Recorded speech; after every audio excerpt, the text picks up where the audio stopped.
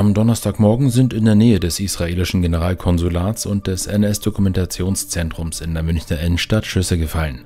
Christian arbeitet in dem Viertel und hat die Lage aus unmittelbarer Nähe miterlebt. Ja, wir haben gerade eine Besprechung gehabt und da haben wir das Fenster offen gehabt und dann haben wir uns ein bisschen poltern hören, sage ich mal, haben uns nichts dabei gedacht, hätte auch alles andere sein können. Und dann ist ein Kollege vorbeigekommen, hat dann gesagt gehabt, ja, dass wir alle drin bleiben sollen, weil anscheinend gerade draußen die Polizei ist und Schüsse abgegeben hat und ja, dementsprechend haben wir uns auch dann so verhalten. Wir saßen mal oben und haben halt, sage ich mal, mehrere Schussabgaben mhm. mitbekommen, beziehungsweise, also war halt so ein Geräusch, muss man ganz ehrlich sagen, bei so vielen Baustellen hier in München, ähm, weiß man immer nie, ist es irgendein mhm. Baumaschinengerät oder ist es jetzt ähm, also als Schüsse direkt identifizieren konnte man es mhm. nicht, aber dann als der erste Kollege gekommen ist und das mit der Polizei gesagt hat, dann ist uns aufgefallen, hey, ja, das kann tatsächlich sein, das hat sich so angehört. Ey, ja, es ist schon ein bisschen, schon ein bisschen sehr, sehr strange.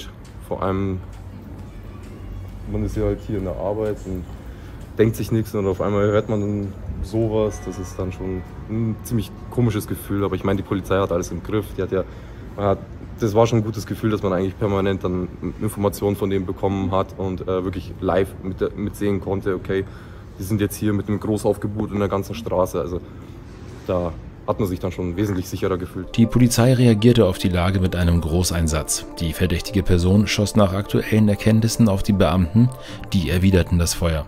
Der Verdächtige wurde getroffen und verstarb kurz darauf.